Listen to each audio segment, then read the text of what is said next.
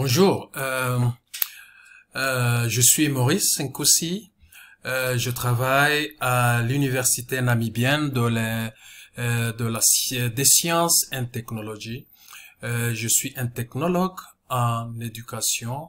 Je m'occupe de former les professeurs comment enseigner avec les pédagogies modernes, les pédagogies innovatives et aussi comment utiliser la technologie pour améliorer l'apprentissage et l'enseignement. Euh, dans cette vidéo, euh, je vais vous présenter quelques stratégies sur la façon de euh, vous pouvez intégrer certains certains thèmes de l'éducation à la citoyenneté mondiale dans votre propre pratique d'enseignement. Les ressources que j'utilise dans cette vidéo proviennent des ressources qui vous ont été attribuées dans son module numéro 2. Une des sources vient du ministère de l'Éducation du Kenya et met en évidence les compétences liées à l'ECM. Ça, c'est l'éducation de la citoyenneté mondiale. La deuxième source vient d'Oxfam, l'organisation internationale non gouvernementale qui travaille depuis de nombreuses années dans le domaine de euh, l'ECM.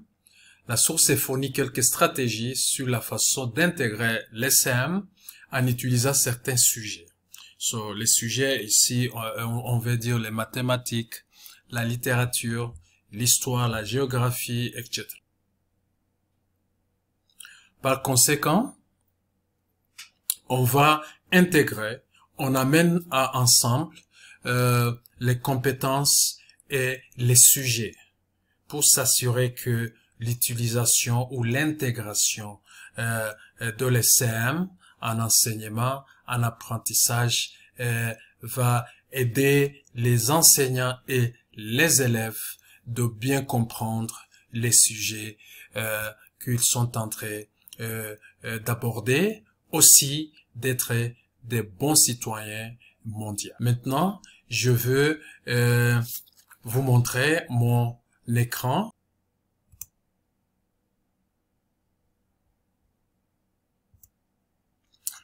OK. La question clé est la suivante.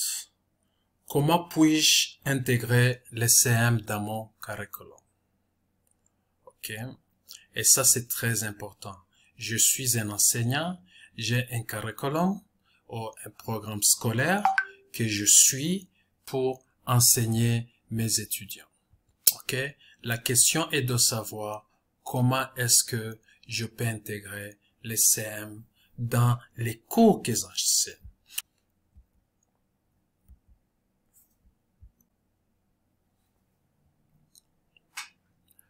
La première chose est pour nous de penser les CM en termes de compétences. Mais c'est très important qu'on définisse euh, le concept de compétences pour que nous soyons à la même page. On va utiliser beaucoup les notions de compétences dans ce cours et c'est très important de comprendre vraiment qu'est-ce que ça signifie. On définit les compétences comme des caractéristiques mesurables qui sont utilisées pour différencier les niveaux de performance dans l'éducation et aussi dans d'autres domaines. Dans la mise en œuvre d'un curriculum basé sur les compétences, les apprenants se concentrent généralement sur le développement des compétences liées aux techniques. Et ces techniques euh, peuvent être des outils, euh, des méthodologies, des processus et de connaissances. Euh, comme connaissance, il y a des concepts, il y a des faits, il y a des théories. Cette matrice développée par l'UNESCO va vous aider à déterminer les compétences que vos élèves doivent développer pour se préparer pour ce 21e siècle.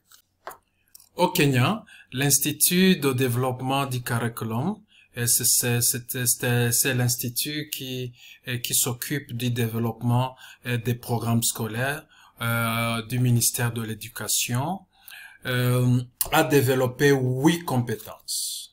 Et pour le moment, vous pouvez voir les quatre premières compétences.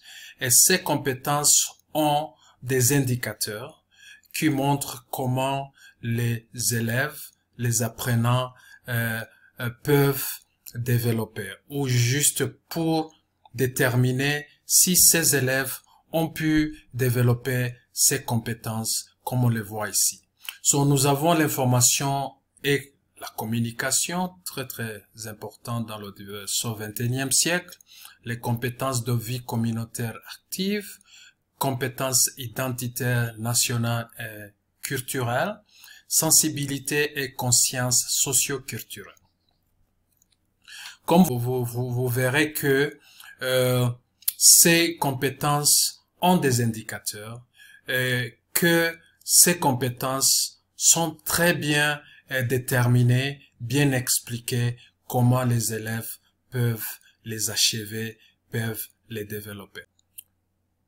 Vous voyez ici les quatre dernières compétences. Et nous avons au total huit compétences.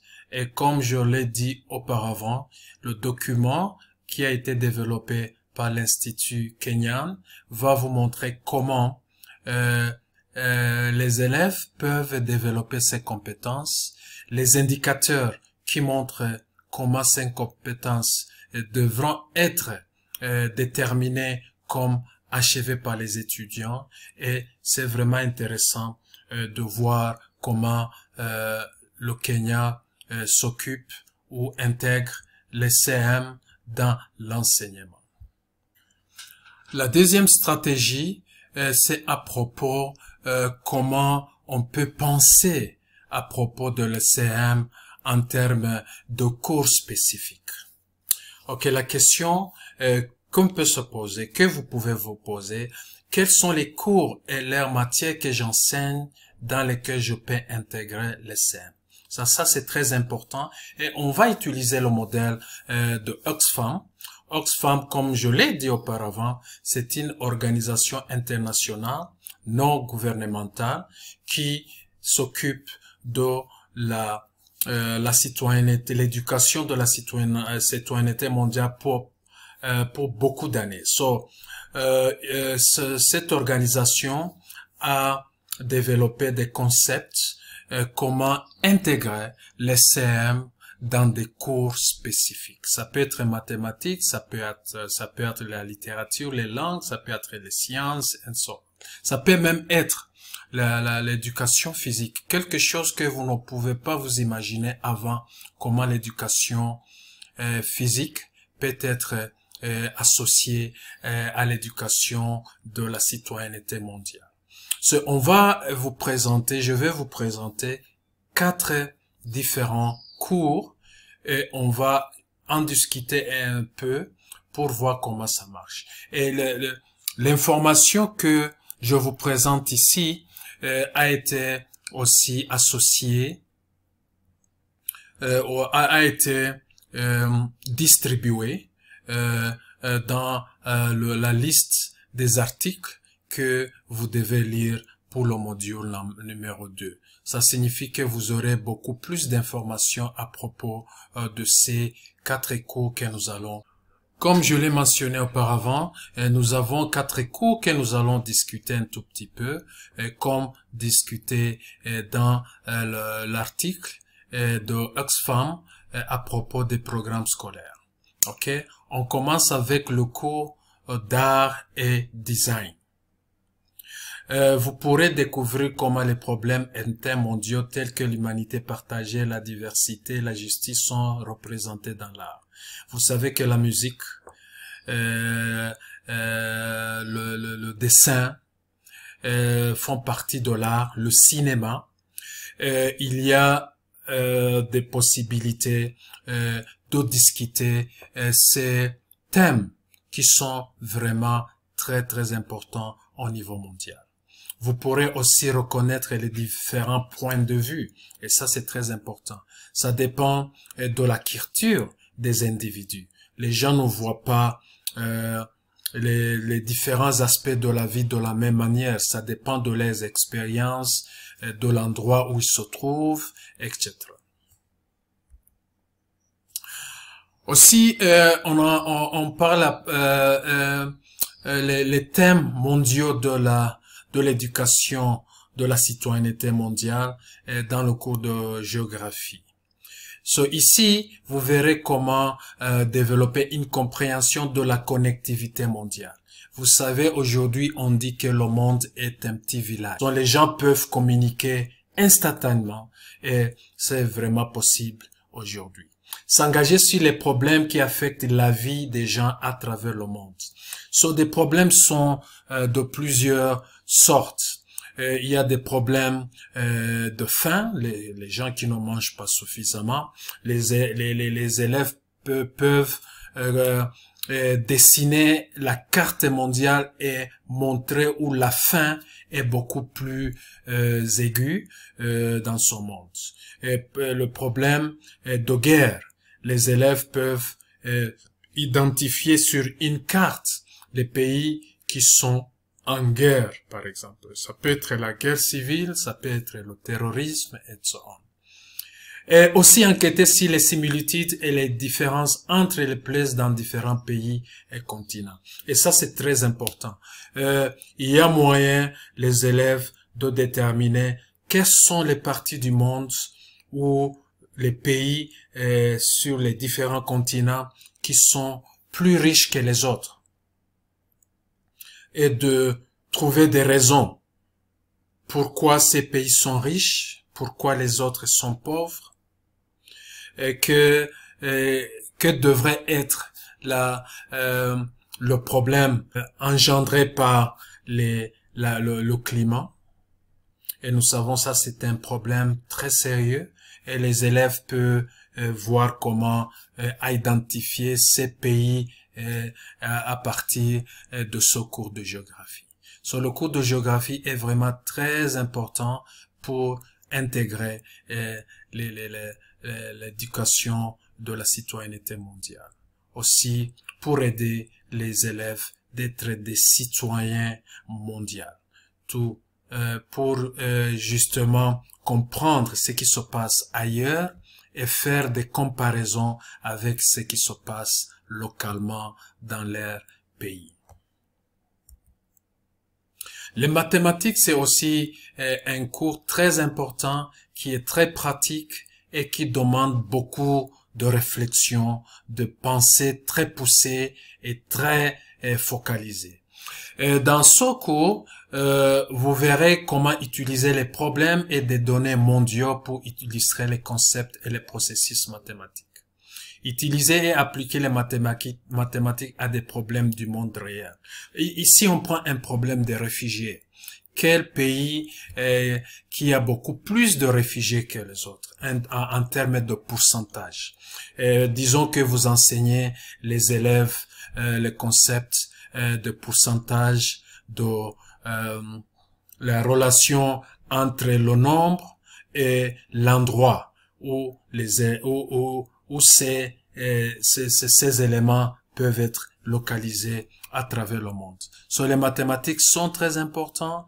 Les mathématiques peuvent aider les élèves de comprendre les problèmes mondiaux et commencer à réfléchir comment ces problèmes peuvent être euh, abordés pour trouver une solution. L'autre cours, c'est la littérature, et ça, c'est très important. Explorer les valeurs, les croyances et les expériences de différents groupes de personnes et d'autres façons de voir et de savoir. Développer l'empathie et la capacité d'écrire de manière persuasive. Et ça, c'est très important. Les élèves peuvent développer des pensées en écrivant, en développant un style d'écriture, qui peuvent les aider à être peut-être euh, des écrivains euh, dans l'avenir, ou bien d'écrire quelque chose qui peut vraiment euh, persuader les gens de comprendre, même de changer si c'est nécessaire.